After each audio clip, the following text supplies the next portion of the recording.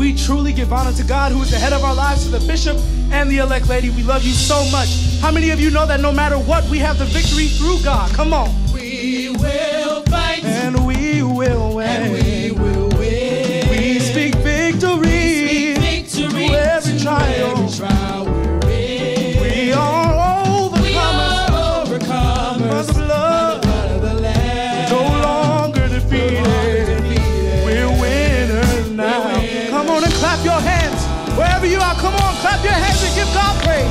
you know you are victorious. Oh, we will fight, and we will win, and we speak victory to every situation and trial.